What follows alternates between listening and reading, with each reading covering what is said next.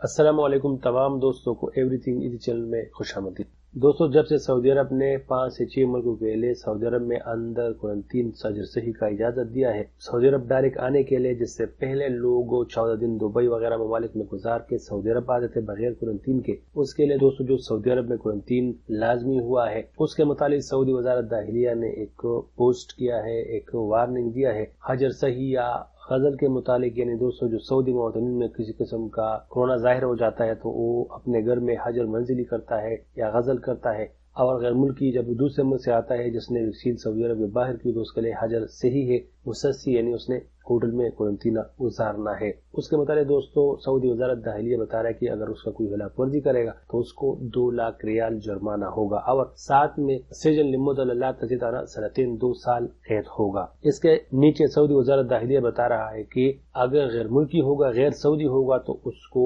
Saudi अरब से बेदखल कर दिया जाएगा और सऊदी अरब दोबारा वापस नहीं आ सकेगा। लेकिन इसमें दोस्तों, अंदर एक और शर्त है कि जो दो लाख रियाल का जुर्माना है या दो साल का कैद है ये उस पर जो भी लागू होगा, उसको मुकम्मल करने के बाद उसको सऊदी अरब से भेज दिया जाएगा। यानी अगर किसी को दो साल का सजा सुनाया गया तो वो दो साल मुकम्मल करके सऊदी अरब से जाएगा, फिर सऊदी अरब दोबारा वापस नहीं आ सकेगा। अगर दो लाख रियाल का जुर्माना सुनाया गया, साथ में जेल भी सुनाया गया तो तब तक वो नहीं जा सकेगा, जब तक वो दो लाख रियाल उसका कोई जमा नहीं करता। जैसा की खादम हरमैन शरीफेन का भी ऐलान करता है, वो अपने अकाउंट से पैसे पे करता है, या बाकी जो सऊदी अरब में मालदार लोग हैं, रमज़ान में जक़ात वगैरह, कैदियों के लिए जमा करता है, तब तक वो कोई जमा नहीं करता तो गैर मुल्की नहीं जा सकेगा। अब दोस्तों, ये गलती किधर होती है? हजर सही का। कभी कभार बस लेट आ जाता है एयरपोर्ट पर, इस पर दोस्तों मैं एक अलग वीडियो बनाऊँगा। मैं खुद चंद दिन पहले आ चुका हूँ, अपना एक्सपीरियंस आप लोग साथ इंशाल्लाह शेयर करूँगा। बस लेट आ जाता है, या मुसाफिर किसी के साथ लेट हो जाता है, बस चला जाता है तो फिर वो होटल के बजाय अपने घर चला जाता है। और दूसरे दिन वो होटल ढूंढ कर